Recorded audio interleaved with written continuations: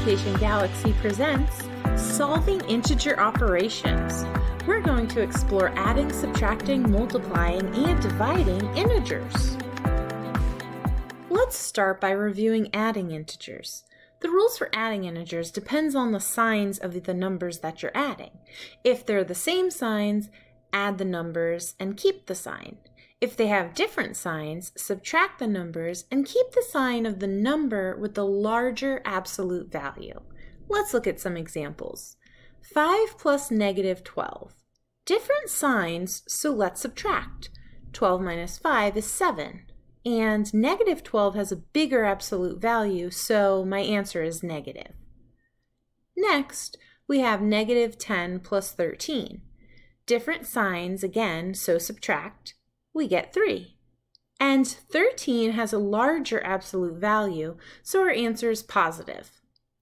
The last example says negative 8 plus negative 7. Same sign, so let's add. We get 15. And we want to keep the same sign, which is negative. For subtraction, you want to remember the famous phrase, keep change change. It means keep the first number the same change the subtraction to addition, and change the sign of the second number. After that, you just add. Let's look at some examples. 8 minus negative 2. Keep the 8, change minus to a plus, and change the negative 2 to positive 2. And 8 plus 2 is 10.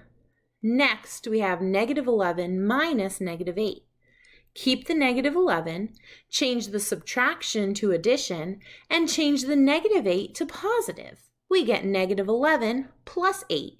They're different signs, so we subtract and get 3, and the negative 11 has the larger absolute value, so our answer is negative. Last, we have negative 9 minus 23. Keep the negative 9, change the subtraction to addition, and change the 23 to negative 23. Same sign, so we add the numbers and get 32. And keep the sign, so our answer is negative. Now, let's check out multiplication. The rules for multiplication are to multiply the numbers, and if they have the same sign, the answer is positive. If they have different signs, the answer is negative. Let's try some examples. 4 times negative 8. Well, 4 times 8 is 32, and the signs are different, so our answer is negative. The next problem says negative 3 times negative 12. Well, 3 times 12 is 36, and they have the same sign, so our answer is positive. The last problem says negative 2 times 8. 2 times 8 is 16, and the signs are different, so our answer is negative. And last but not least, let's check out division. The rules for division are the same as multiplication. We want to divide the numbers, and then if they have the same sign, the answer is positive, and if they have different signs, the answer is negative. Let's check out these examples. 15 divided by negative 3. 15 divided by 3 is 5, and since the signs are different, our answer is negative. The next one's negative 49 divided by negative 7. Well, 49 divided by 7 is 7, and the signs are the same, so our answer is positive. And last, we have negative 24 divided by 8. We know 24 divided by 8 is 3, and the signs are different, so our answer is negative. Now we've covered all the rules, so it's time to take what we've learned, mix it in with a little order of operation, and try some more challenging problems. Example 1. Bailey is playing a math game. She chooses three cards. The value of each of her cards is shown. What is the sum of the value of Bailey's three cards? So if we're looking for the sum, we want to add these values. Let's start with negative 14 plus 6. Different signs, so we want to subtract the values. 14 minus 6 gives us 8. And negative 14 has the larger absolute value, so our answer is negative.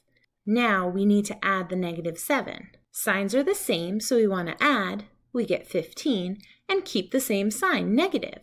So our answer to this problem is negative 15. Let's try another one. Example 2. A teacher wrote this expression on the board. What is the value of this expression? We want to start in the parentheses. Negative 45 divided by 5. 45 divided by 5 is 9, and they have different signs, so our answer is negative. Let's rewrite the rest of this expression. Now, negative 6 times 2 6 times 2 is 12, and our signs are different, so our answer is negative. we get negative 12 minus negative 9. We have to follow the rules of subtraction now. Keep negative 12, change subtraction to addition, and change negative 9 to positive. Now let's add different signs, so 12 minus 9 equals 3, and negative 12 has a larger absolute value, so our answer is negative. We get an answer of negative 3. And that, my friends, is how to perform integer operations. Remember to use the rules for adding, subtracting, multiplying, and dividing integers. As long as you're following the rules, you can't go wrong. And always follow order of operations, PEMDAS. Lastly, as you should with any problem in math, after you get an answer, it helps to check to make sure your answer makes sense. Catching answers that seem ridiculous will help catch some mistakes. And you are now officially authorized to perform integer operations. Congratulations!